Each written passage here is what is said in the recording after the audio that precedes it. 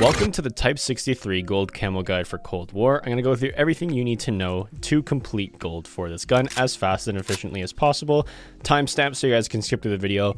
We're going to start off with camo challenges, then do attachments, and then do extra tips for the Type 63. For the camo challenges, they mirror the exact same challenges as the rest of the TAC rifles, so some of them will be very easy and some of them will be difficult. Heading into the first category, unlocked at level 0 is Spray. This is getting 300 eliminations. Don't worry about this, you will complete this while working on other challenges. Unlocked at level 5 is Stripes, and this is getting 100 headshots with the Type 63. Super straightforward, aim for the head, one-shot headshot kills in hardcore, which is where I have played most of my progression towards the Type 63. Just aim for the head, and headshots shall come very easy for you. Coming up next is the classic category unlocked at level 10. This is getting 5 kills without dying 20 times, so you need 20 Bloodthirsty medals, which can be difficult for players who aren't that good. I highly recommend camping it out if you're struggling with this weapon, or if you're really dominant and really good with the Type 63, these bloodthirsty medals will come super easily for you. You also can stack bloodthirsties as well. So if you get five kills in a life, it'll count as one.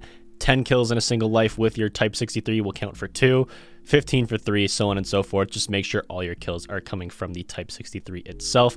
Going into the next category, unlocked at level 20 is Geometric, and this is getting 50 long shot medals. On the bigger maps where there's lots of long lines of sight, play hardcore, so that's Satellite, Moscow, raid. You can get long shots basically on every map, even Nuketown. So take advantage of hardcore because your gun basically acts like a sniper rifle with one shot, one kill, and you can get long shots done extremely easy. Only took me three games to complete this challenge. Unlocked at level 30, you will get Flora, and this is killing 75 enemies detected, stunned, or blinded by your score streaks, equipment, or field upgrades.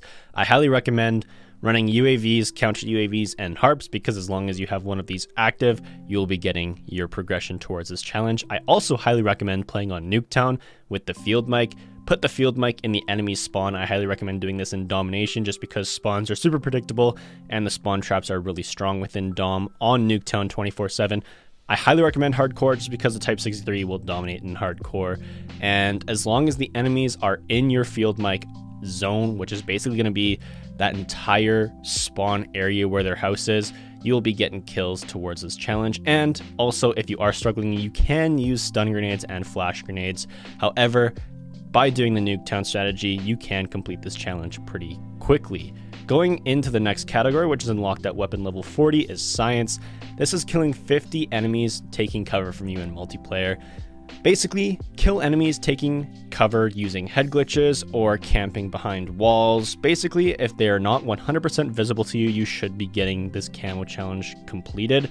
Now, they did change this in a patch, and I don't really understand how they changed it. It used to be where the enemy had to be extremely close to the area that they are taking cover from, like they had to be right up to the barricade or right up to the windowsill for this to count. However, recently they've given a lot of leeway, so as long as they're behind a window or taking cover, head glitching, as long as you get that kill, it will count. Some of the best maps to do this on is Nuketown if you're hanging back by your own spawn, either camping in window to window, or if you're camping in the garages, you can shoot through the red bus or the red truck and those kills will count as kills with enemies behind cover.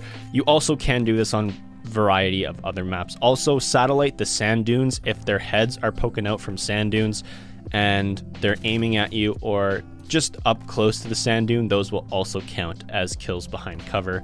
And if you guys know how Satellite plays, that means you are going to get a lot of kills behind cover very shortly. Unlocked at weapon level 50 is going to be the psychedelic category, and this is basically just getting 25 double kills. Double kills are super easy if you're playing Raid 24 7, Hardcore, Nuketown 24 7, double kills will come extremely easily. And if you're playing hardcore domination and treating the Type 63 like a sniper rifle, you will be getting tons of double kills, spawn trapping on the bigger maps like Moscow, Satellite, Raid, so on and so forth. Now going into my attachments for the Type 63, I basically have a standard for attachment layout with one variable attachment, and that one attachment is the barrel. If I'm going for long range or long shots where I want to treat the Type 63 like a sniper rifle, I will run the 21.5 inch Task Force barrel. This will increase your damage, effective damage range, and bullet velocity. Causing your bullets to travel a lot faster, making target with your enemies extremely fast.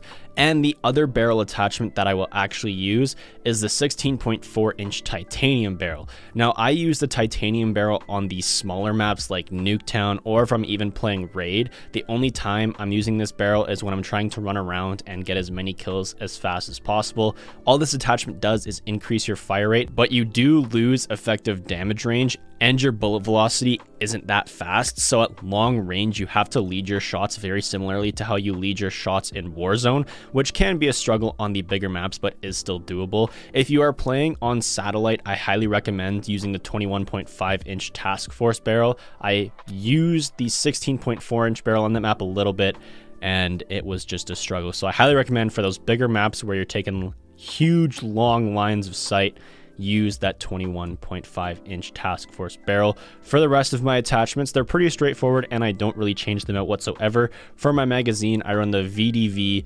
25 round fast mag, more ammo capacity in the clip and you reload faster. On my handle, I run the GRU elastic wrap, just increases that ADS time that that barrel might take away. For my muzzle, I run the silencer just because I play hardcore and it keeps me hidden off the minimap when the enemy do have a UAV and it just keeps me quieter so I can spawn trap and flank a lot easier.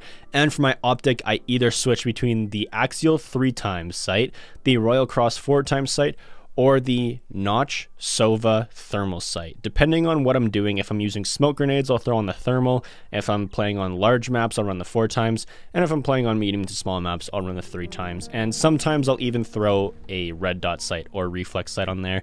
Just basically depending on what you're trying to do, use the optic that helps you the most. The fastest way to level up your weapon is either going to be playing your multiplayer game mode that you excel at the most, so your favorite mode, mine being hardcore domination, or you can take advantage of double XP in zombies. With the more people you have, the faster you level up your weapon, and you can get your weapon to max weapon level in 45 minutes. The best game modes I found for the Type 63 is anything hardcore because it's one-shot kills at all ranges. You can treat it like a sniper rifle, you can treat it like an FAL for Modern Warfare where you can basically have a semi-auto SMG at close ranges. And that's the biggest benefit of the Type 63 is it can fit almost every game type or playstyle there is out there. I hope you guys did enjoy this video and it did help you. Leave a like if you did enjoy, dislike if you didn't. There's no hard feelings. Subscribe for more videos in the future. In the description, there's going to be the full Dark Matter and Dark Aether camo playlist, as well as a Discord server. I'm about to head out, and if there is one, I'll see you in the next one. Peace.